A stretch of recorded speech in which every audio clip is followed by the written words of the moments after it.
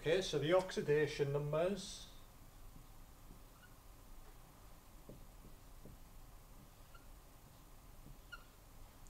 So as you can see, it's being progressively reduced all the way down. So effectively gaining two electrons here, gaining six electrons to go to there, gaining eight electrons to turn to the hydrogen sulfide. So it's constantly being forced to take more and more electrons by the iodide.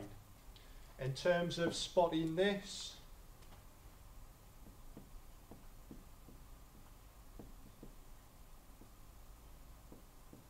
so as you just saw with the, the sodium bromide one, sulfur dioxide, brown fumes is given off. Sulfur is a solid, it's very dark purple, mainly just looks black to the eye.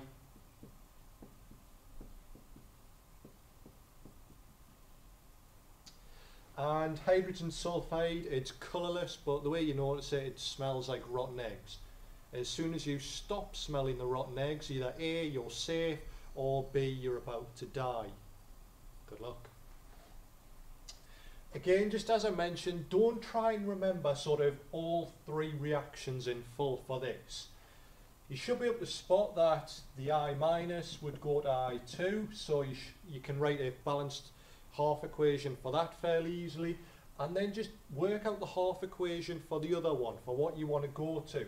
So an example H2SO4 going to H2S so just oxidate so balance the sulfurs oxidation numbers electrons hydrogen ions water as you've done previously. Stick them together. Takes all of 30 seconds one minute at most but it saves remembering equations in full, fairly tough.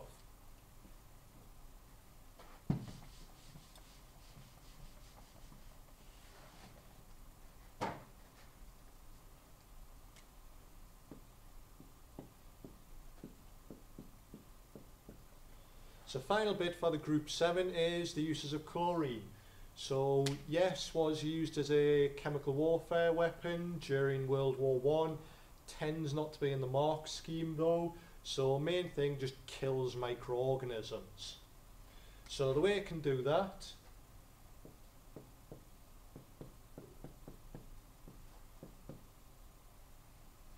and when you react it with water you will get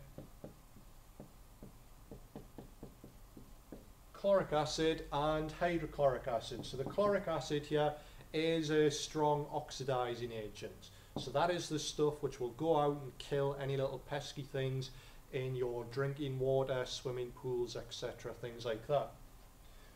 Now the reason why they don't sort of want to do this as much is, as we've just said, that kills people. You do not want pipes with that gas going around everywhere. Any leakage and you've got a serious problem. So the way they can get around this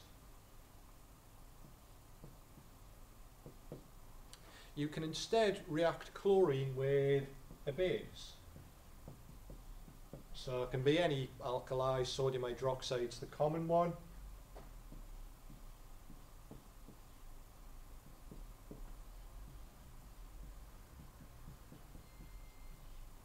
So you get two salts, you get your sodium chloride, your sodium chlorate and some water as well.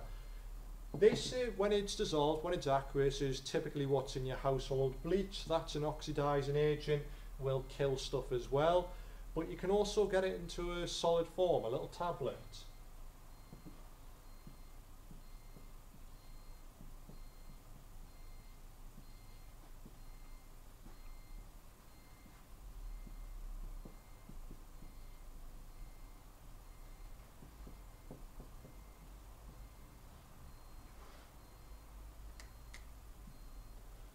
Line just so you can separate them.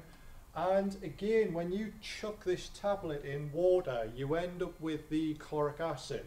So that can be used to again kill the microorganisms. So if you've ever been camping, backpacking, things like that, and you've bought the little water sterilization tablet, it will quite likely be that. So you chuck it in the water and it forms that. Questions around this, sort of why swimming pools need to be an acidic pH? Well look, this is an equilibrium. So if you add an acid, equilibrium will move that way to release more base, releases more of this, so keeps killing stuff.